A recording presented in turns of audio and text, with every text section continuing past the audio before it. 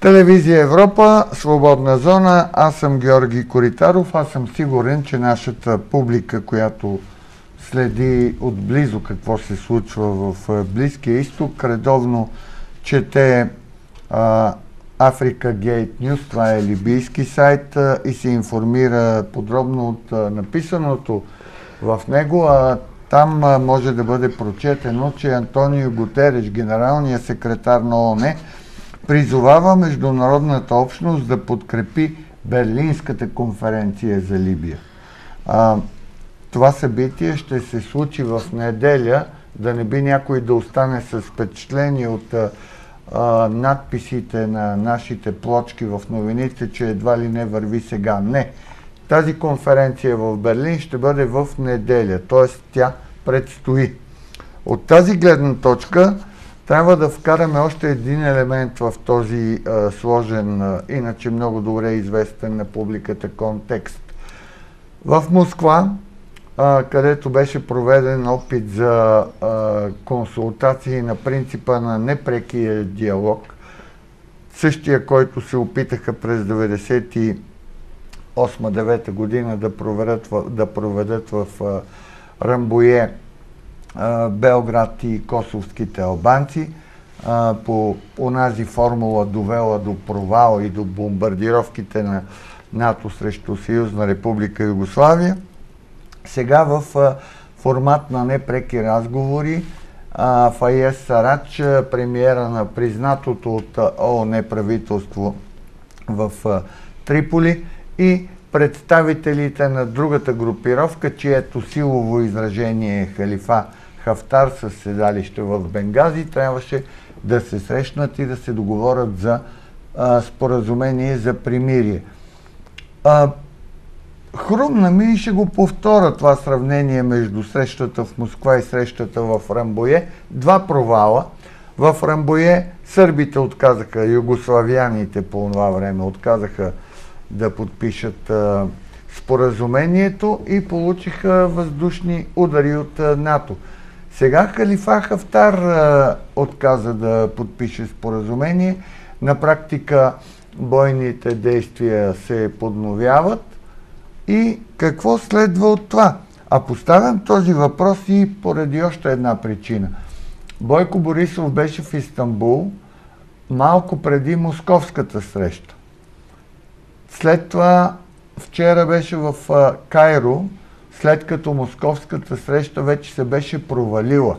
Та една от хипотезите в а, моята глава, която при сериозен вид, а, без да говоря, когато изглеждам ето така, каменно, изглежда много добре и може би буди интерес какви ли мисли се въртят в нея. Та сега една от тези мисли беше дали пък господин Борисов не е предал някакво послание от името на групата около Ердоган и Путин към, към прес Египет, към другата връждуваща страна. Защо пък не? Защо да не бъдем сувалка? Но преди да отговорим можем ли да бъдем сувалка, да се запитаме какво ни чака в Либия. Същите гости Димитър Кацарков и Мартин Табаков. В Либия става ли страшно? Нека само да вкараме малко контекст. Още контекст. Първо в Либия е, е страшно от 2011 година насам. А, второ, на тази среща, която бе проведена в Москва, е четвъртия опит на подобен тип форум да се постигне на първо място временно примирие. Но за първи път е в Москва. Но за първи път е в Москва. Преди това беше в Париж, в Палермо, в Абу Даби. Тоест в а, държави, които имат пряк интерес от случващото се в Либия. Сега това, което беше наистина изненадващото и за мен а, в, на среща в Москва е отказа на халифа Хафтар да, да подпише това а, споразумение и начинът по който аз си го обяснявам а, е това, което четох преди всичко в турските медии, господин Коритаров, а именно, че Обединените арабски емирства и Египет, махам пропагандния филтър, а, но а, именно на Обединените арабски емирства и на Египет са били против сключването на такова споразумение, т.е. той да бъде подписан от халифа Хафтар и осигурявайки си евентуално техен гръб, а, този либийски генерал а, е отказал да, да сключи това споразумение. Разбира се, а, аз мисля, че това ще му усложни ситуацията с Владимир Путин, тъй като това е третия субект, успоредно с споменатите две държави, Емиратите и Египет, заедно с Франция, които подкрепят а, либийския генерал. Разбира се, има една друга хипотеза, че в някакъв смисъл това е разигран сюжет между, между Халифа Хафтар и Владимир Путин, но има много съображения спрямо тази теза, тъй като гледах след това руския външен министр Сергей Лавров, който коментираше а, резултатите, т.е. липсата на резултат от тази среща. И при все, че Сергей Лавров винаги изглежда по един и същи начин, ми се стори, че долових, а, долових по-скоро на удовлетворение от така стеклите с обстоятелства, което ме кара да мисля, че това не е било а, не се е развил според сюжета, който Москва са имали. И между прочим, това, това не е обязателно лошо чисто европейска гледна точка, тъй като това, което се опита да направи Владимир Путин, е да издърпа Либия изпод европейското килимче от инициативата на европейските държави и да се опита той вече като домаки на такъв форум да, да направи това, с което всъщност направи вече повече от успешно с Сирия. А именно да вземе дипломатическата инициатива, а, така както се случи с формата Астана, където си рани с Турция, де-факто Владимир Путин успя да, да направи така, че събитията в Сирия да, а, да бъдат определени от този формат, а не от европейски или някакъв западен такъв. И това беше големия риск в случая с среща с Москва да се повтори а, този, а, този иначе успешен а, дипломатически а, ход от страна на Путин, който наблюдаваме в Сирия. Знаете ли, че всъщност а, водим този разговор за Либия в а, емблематичен ден а, от а, Google, а, съм сигурен, че това вече е проверено и се знае, че на днешната дата, през 1970 година, полковник Муамар Кадафи официално влиза във властта в Либия като премьер. А, така че ние, ние сме го изчислили това нещо и не случайно. Сега ще разширим контекста, като говорим за Либия. А, ще се върнем и назад а, в тези времена, а, при които а, Либия също играеше своя роля, но имаше откорени, макар и изведени през а, интереса на а, диктатора Кадафи интереси. Обаче, тук се преплитат два образа, много интересни.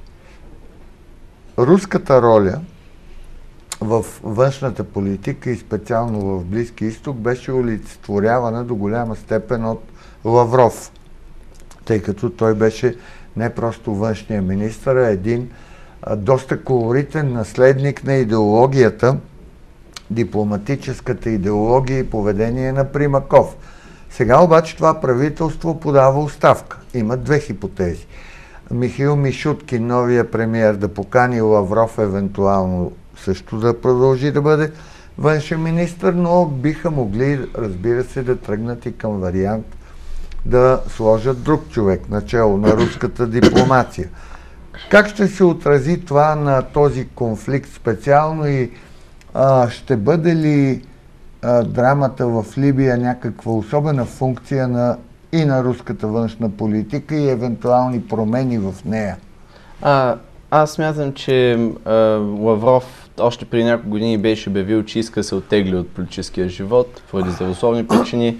Може да се очаква ново, ново, ново лице, лице, но погледнато той, той е човек с доста висок а, статут в а, Единна Русия в руската политическа... На руската за Лавров говори. Да, за Лавров, за руската политическа да. сцена.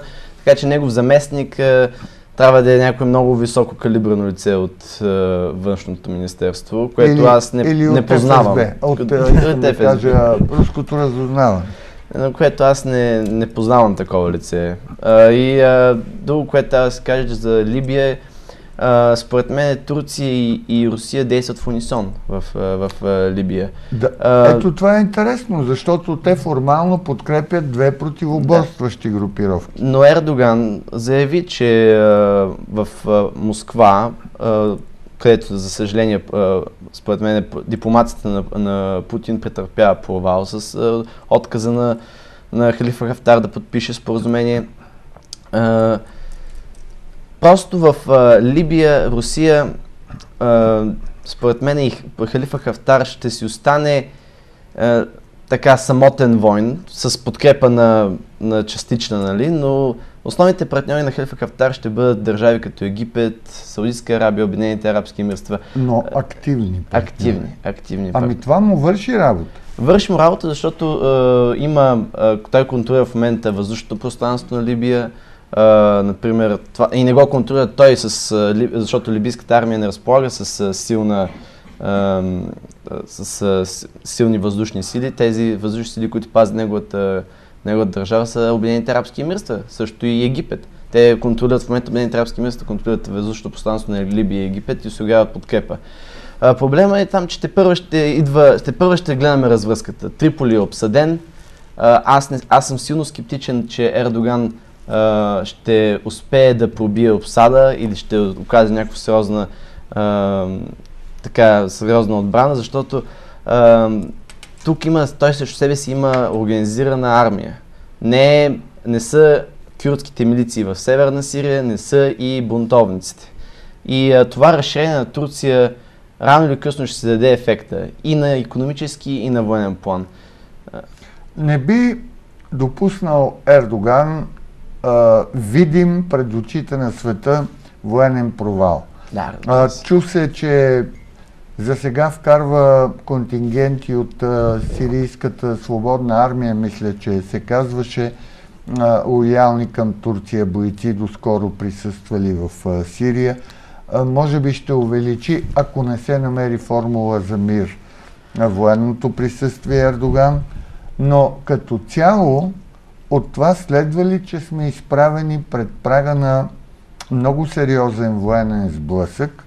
И дава ли и това като хипотеза част от обясненията за посещението на българския премьер в Кайро, защото това е много важен елемент. Той едва ли е говорил само за газопроводи ако намеквате за потенциална роля на Борисов като посредник между Анкара и Кайро, аз разбира се бих се радвал, ако това е случай, но ми се струва, че е много по-лесно за, за турския президент да изпрати послание на египетския си колега посредством Русия.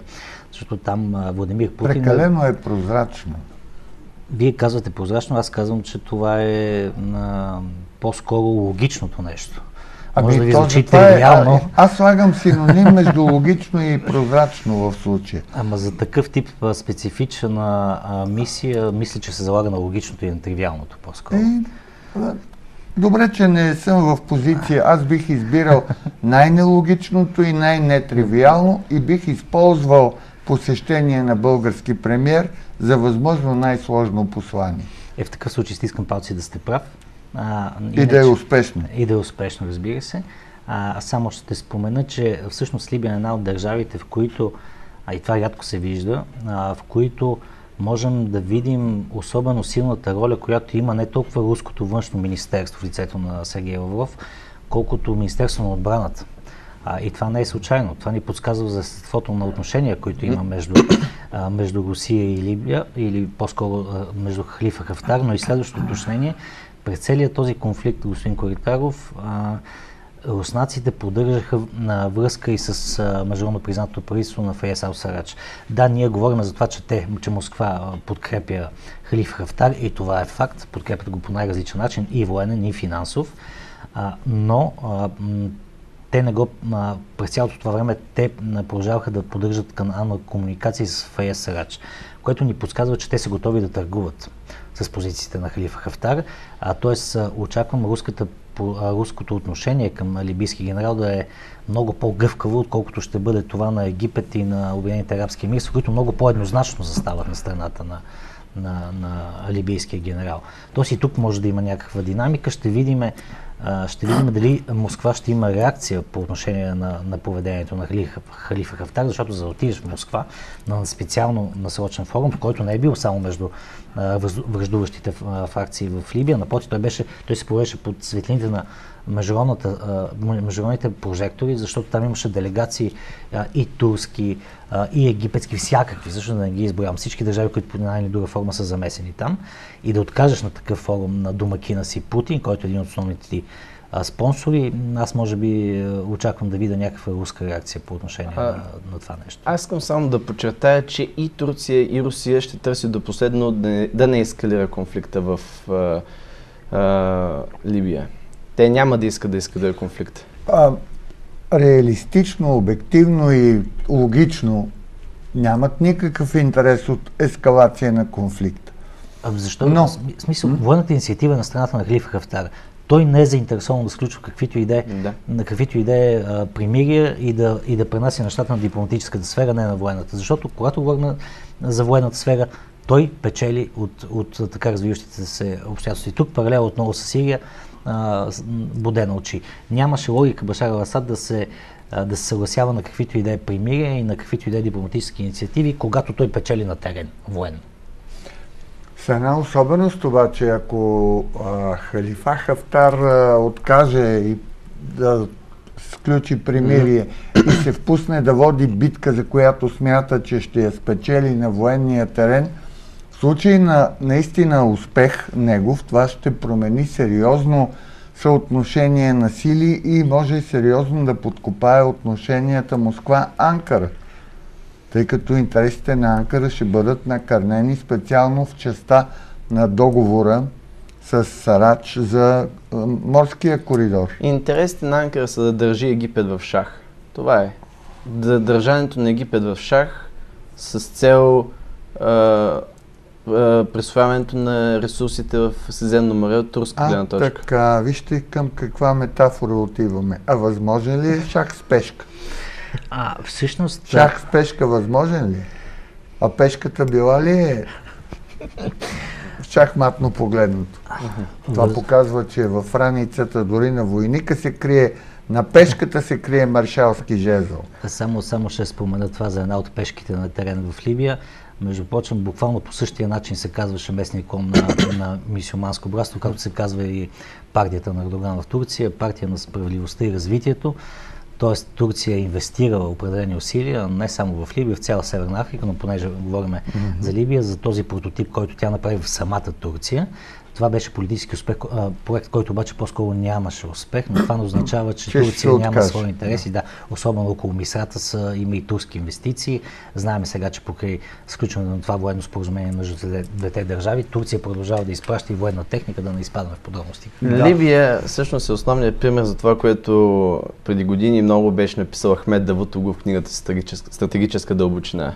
Нарушаването на тръгълника, с традиционния Точно така. тръгълник на сили. Турция, Иран, Египет. С изолирането на Египет Да. и с отслабването на Иран в момента, Турция иска да се разшири като една регионален, регионален хегемон. Това дори а, беше написано в а, условно наклонение като хипотеза. Това е аналитичната част на стратегическа дълбочина. А, след втората половина на, на книгата, радвам се, че... Но какво говорим? Това е общоизвестно произведение, масово се чете в България и всички знаят кой е Давут Оглу и стратегическа дълбочина. Сега ще получите още повече знания от новините на телевизия Европа. Благодаря на, за малко да кажа най-голямата простотия в историята, да кажа благодаря на Халифа Хафтар. Разбира се, че благодаря на Мартин Табаков и на Димитър Кацарков. Новини.